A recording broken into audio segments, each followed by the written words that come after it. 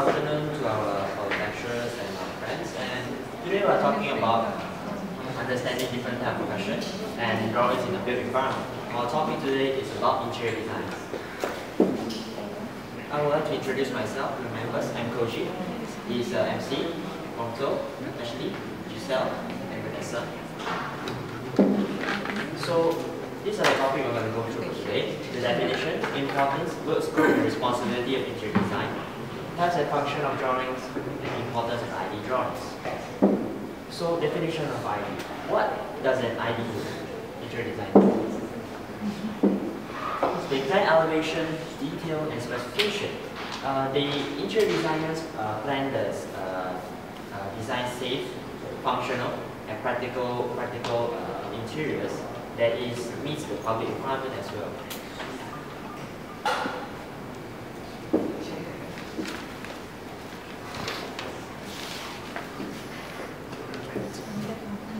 And ID also do ID also do spatial planning as well, as we humans need a minimum space to move around. Like this door, when they open, they need some space to open as well.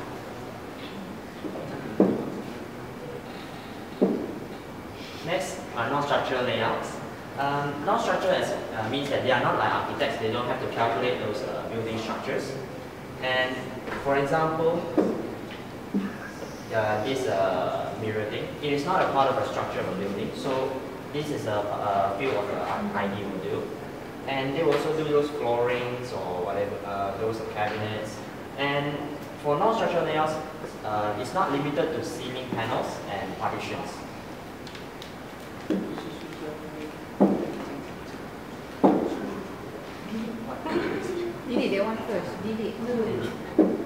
Ah. Next is environmental sustainability. As long as we are going to say that, say, uh, stay in our house like for like 10 years or such, it is important that the house is quite, uh, this benefit us like, uh, something good for us. Like, you won't, uh, let's say the temperature won't be very hot inside or cold. Uh, um, so they have to design the house that is well ventilated or such in a way that it's, not, uh, it, will- it won't cause negative effect to, the client as well.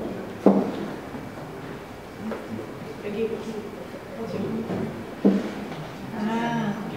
Next, uh, next is the contract documents. After uh, contract documents is important because it's a sign of approval that the clients uh, clients uh, bought the interior design interior designers uh, design. This is also important for the uh, it's important that they have this uh, form to uh, make a smooth uh, carry out a smooth construction between contractors as well. And the importance of interior design. They, uh, basically, interior designer beautify those houses. So you, uh, it's like changing a new clothes to the house or something. And the value will increase as well after you after you beautify your house. Value increase as in like, for example, if you if you want to sell an old car, if you sell if you just sell like that, you won't get any much of a value from it. But if you like oh, spray spray it, spray it, color it, or try to renew it, your value will definitely increase. It is same as renovation. So capability, not everyone can do interior design. So because interior designers they learn they learn how to do uh, plan, uh, spatial planning and those color color matching.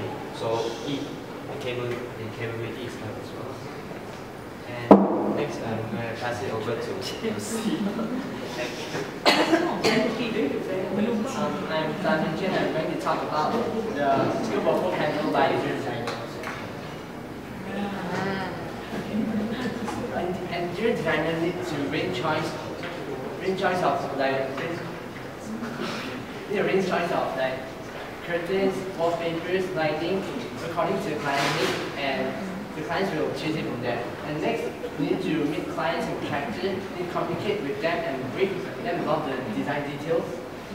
And also, this um, to do, to let contractor know what to do and clients know what they are doing. Okay, next they need to survey buildings so they can know more well about the space and carry out the design process. They also need to set schedules like when they need to finish this part when is the furniture installation and so on. And next, they also need to estimate the material requirements and cost and present it to the clients for approval.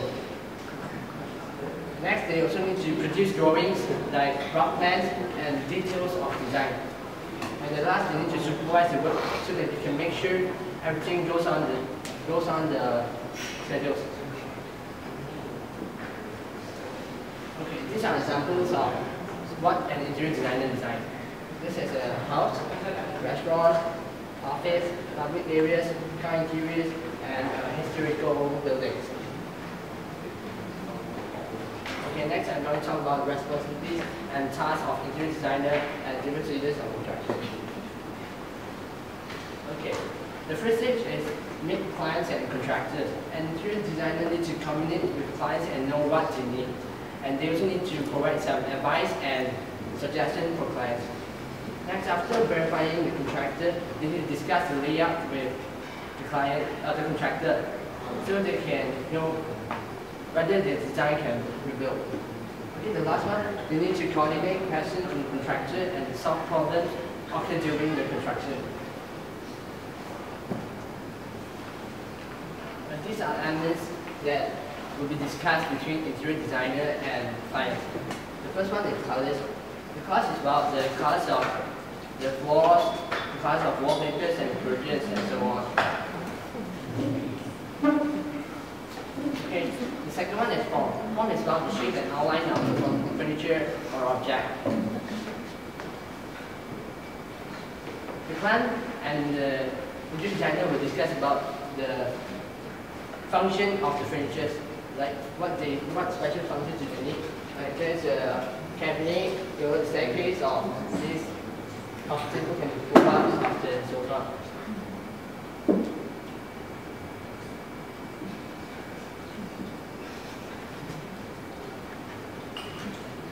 Okay.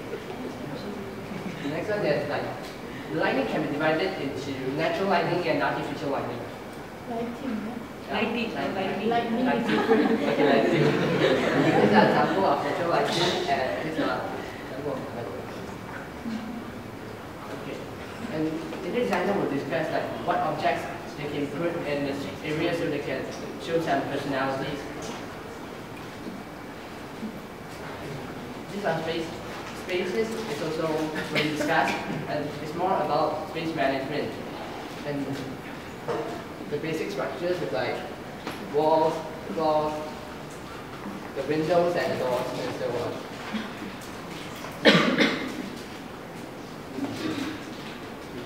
Okay, the last one is texture. Texture is about the appearance of appearance of the surface of the furniture, and this shows a very rough texture, and this shows a very smooth texture. Okay. Okay, next I'll pass it to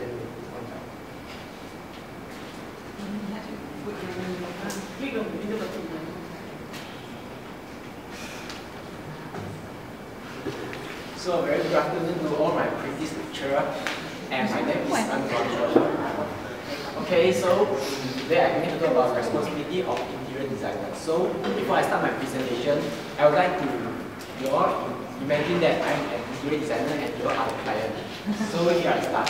So at first, an interior designer want to design a, um, a thing, a, a space, and what they need to do. So at first, they need to meet the client. So why they meet, uh, why they need to meet the client? Because they need to understand what the client need and what the client want. After that, they need to meet the contractor. After they meet the client and meet the contractor, understand what they need and what they want. Second, they go to the plan space. So what is the importance of the plan space? Um, is the first is determine the furniture location. For example, this is the plan. And here is the living room. So in the living room, we need to have sofa, and in front of sofa, they need a television. For example, here is the kitchen, and here is the toilet.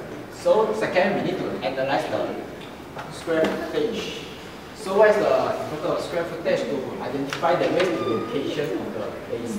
Third is compare the color patterns, and the fourth is visualize it, the fabric pattern of material.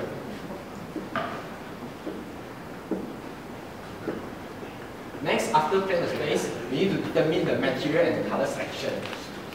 What is the importance of determining the material and color selection?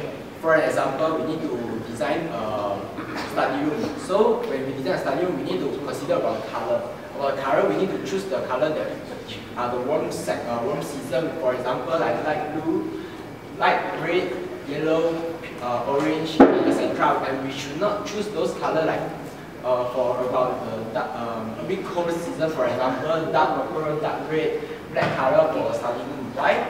Because um, for the dark color, it will cause you um, feel sleepy and it's not suitable for design the uh, study room, study area. So next, after I plan the space and I decide the color, we should understand it, the concept. What's the importance of the concept? Oh, okay, okay.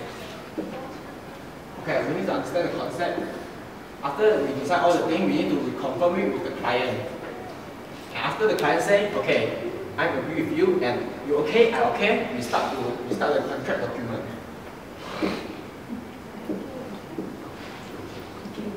So after we start the contract, we will uh, we will start doing about the details of the drawing. What is the importance of the details of the drawing? The detail of the drawing is, is uh, called as the CAD plan drawing. This is the example of CAD plan drawing, and here's the example of the drawing of the kitchen. Here is the stove. Here's the cupboard. And we need to consider about the width and height. So after this, we have done the details of the drawing, we start the construction. After we start the construction, we start to build up and purchase the finisher. When in this section, we purchase the furniture, we need to ensure that the schedule, that the furniture that you purchase is come in order on time, and we need to start on measurement for application.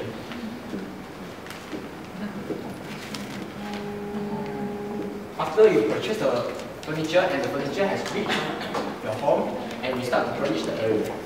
We start to furnish the area, we need to consider about three things. The first thing is about painting. Make sure the painting that they paint are the color that you want. And second is wallpaper. Third is the floor. In this section, we need to ensure that a very important thing which is there is sufficient of manpower. We need to enough have enough person and manpower in order to finish the area, make it the project become smoothly. So after furnish the area, all the plan and all the things have been done, we need to do the last section, which is checking and do aftercare.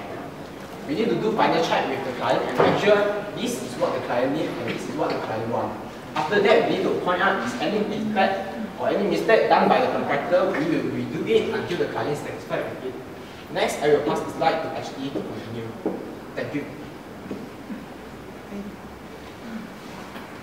Good afternoon to my lecturers. My name is Yafina and I'll be talking about the types and functions of interior design drawings.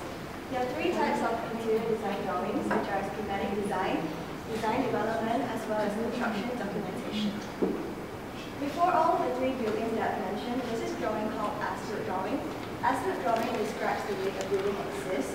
It includes the changes, additions, and alterations made to the building since it was constructed. Why as-built drawing is needed by interior designers is because the existing plans don't show the later modifications and remodeling made over the years. As such, as-built drawing is really important for interior designers because it helps the design process to go on smoothly and it is to reduce inaccuracies. The first type of interior design drawing is schematic design.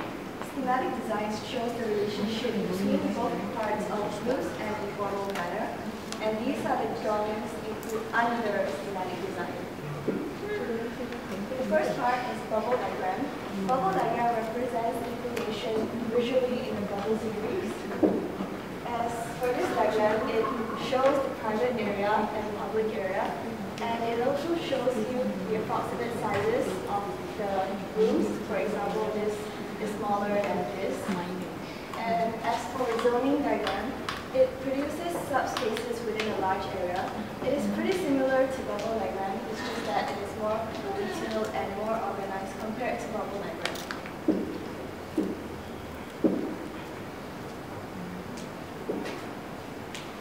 Next up is circulation diagram. Circulation diagram identifies the entry points.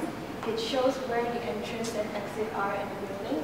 And as for this diagram, the exit and entrance of the building are theme Park, Island, Plaza, and Boat Tour. And circulation diagram also shows the circulation of one space to another. It shows how people move about in a, in a building.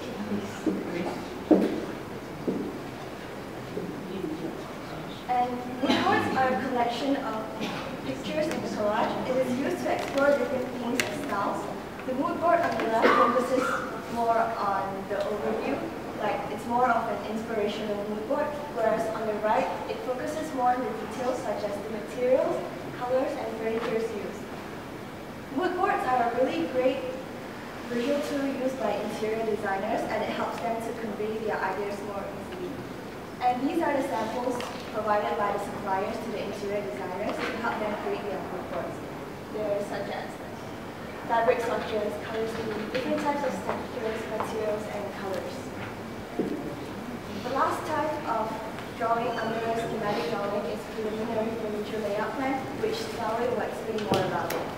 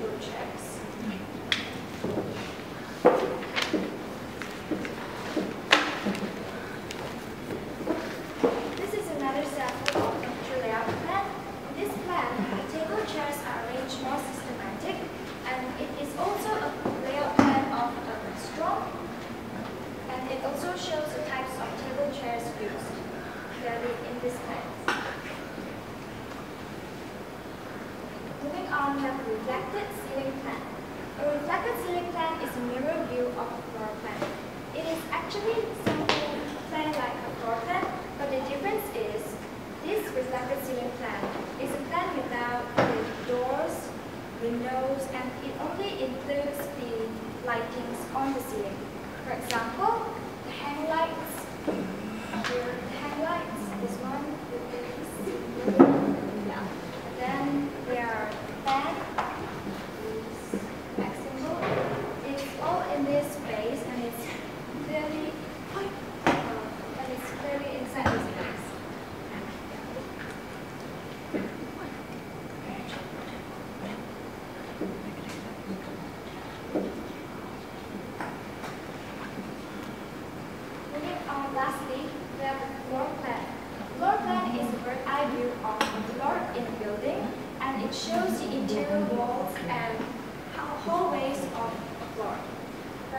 Nossa.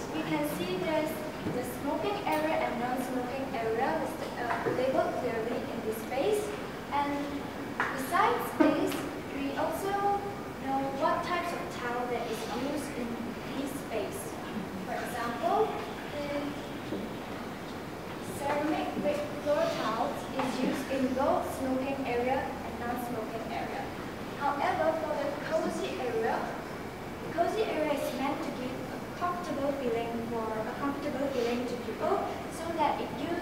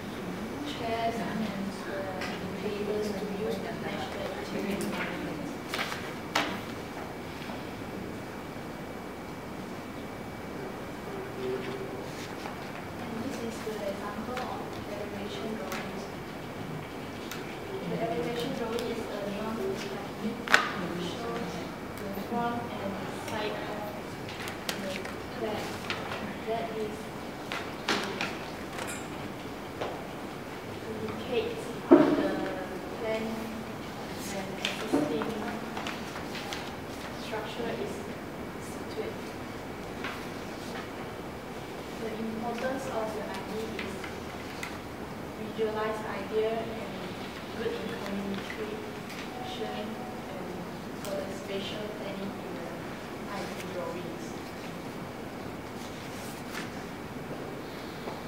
So I'm going to talk about the conclusion. In conclusion, I, uh, uh, communication is important as if there's a flaw, flaw in the communication, like let's say if, uh, uh, the ID, I need to uh, communicate with contractor. If let's say I have admit, uh, done a mistake you know, in communication, uh, the- the contractor will make mistake and they will, it will come to a messy situation because the client won't want the results. And next is innovation. This applies to many jobs, including architects or interior architect QS. Uh, we, we need to uh, continuously innovate, think of a new creative idea. So we, uh, we will have a more like, concepts, so we won't be left behind with those new ideas. And that's all. That's all for our presentation. Thank you. Thank you.